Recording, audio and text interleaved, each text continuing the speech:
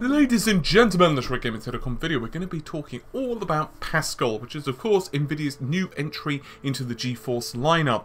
It's fair to say that at this point, anticipation for both Polaris and Pascal is reaching fever pitch.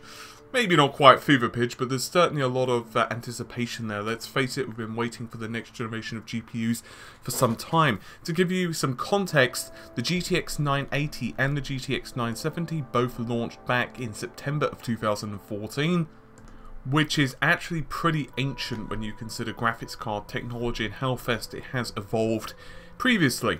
So, we have known that Nvidia have been brewing up something. They've been they've been toiling away. So the latest rumour has it that Nvidia are gearing up for Com Computex and they are going to be launching the next generation of cards, that would once again be Pascal, with a hard launch, theoretically, with their AIB partners. So we should actually see what they've been working on, we should see the specifications of the card, we should see the cooler, we should see it theoretically in live in action, and that's being reported by Clockers. Now, most of this stuff is not particularly surprising. We know that Nvidia have been waiting to launch Pascal for some time. As I just mentioned, by this point, um, by the time of uh, Computex, the GPUs, which they currently have on the market, would have coming up to two years old, which once again is pretty old uh, in the grand scheme of things.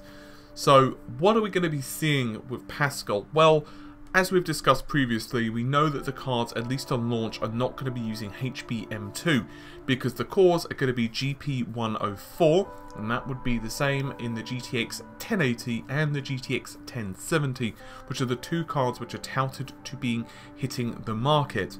Now supposedly those two cards are going to have a lot of extra performance, we know they're going to be 16nm FinFET based.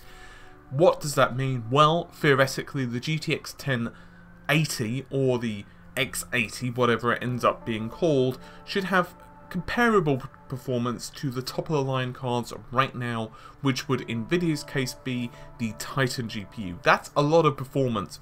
Obviously we don't know what the pricing is going to be, but we do know that the GP, um, the at least in this case, the GP104s are not going to have HBM2. They're going to stick with GDDR5 or GDDR5X, most likely the, the latter, that would be 5X. And then we're going to see HBM2 coming in with the GP100 range of cards. The GP100 is the equivalent to the GM200, also known as the same core which is in the Titan X, the GP, the GM200, so many bloody acronyms. The GM200 is the same uh, core that's in the Titan X. So in which case the Pascal GP100 is going to be the equivalent of the Titan in that lineup. One weakness we are supposedly hearing about with Pascal's architecture, and it's very difficult to know whether it's going to be ironed out in final engineering samples, whether it's even true to begin with, or whether it's going to make a blind bit of difference in the grand scheme of things, and that is, supposedly rumours have it that the Pascal architecture is going to have issues with asynchronous compute. now those issues reared their ugly head when it came to Maxwell, we've discussed that in depth before, and asynchronous compute is incredibly important, at least in some applications. It doesn't take too long to implement, and the performance benefits are in some applications, some games, quite substantial, and we know that asynchronous compute is becoming quite important, especially for games which have been ported from uh, console, because obviously those consoles are using GCN-based architectures. But once again, we don't know whether that's going to be accurate or not, because at the end of the day, they are just reports. The only real reality that we need to worry about as gamers is what Nvidia actually show. And I think it's fair to say that both Pascal and Polaris at this point there's a lot of anticipation. And I think that unless these things actually you know, climb out of our PCs in the morning, make us breakfast and coffee, and then offer to chauffeur us to work, and then climb back into our systems ready to game and offer us like 10 million frames a second at 4K, we're going to be a bit disappointed. Maybe I'm slightly exaggerating, but what I'm saying is we have such anticipation on these cards at the moment, and some of it is, well, folks like myself, whether it's member of the press, whether it's enthusiasts, the guys on the board, whether it's Nvidia and AMD and all of the bloody slides that they've released, and whether the fact that even you see cards, uh, I'm sorry, not cards, hardware like the, the Oculus Rift and the Vive and the next generation of displays, and we just need this extra performance, so hopefully the cards will deliver it. And Nvidia themselves are actually touting Max, uh, Maxwell to be well, considerably less than Pascal. In fact, there's a slide, a PR slide, which says Pascal 10x Maxwell.